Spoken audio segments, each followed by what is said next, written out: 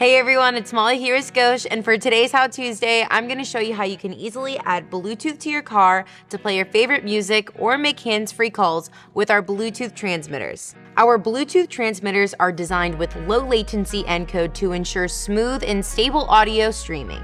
First, insert your BTFreq into your vehicle's 12 volt socket. Then match your BTFreq to an unused FM station, and then finally go into your phone's Bluetooth settings and select the device to pair. And just like magic, you have Bluetooth audio. Also, if someone gets in your car and asks for a charger, just plug the charging cord into your FM transmitter and you have power. Adding Bluetooth to your car just got easier with our BTFreq FM transmitters. Now you and your friends can stream audio wirelessly and ditch the days of the aux cord for good.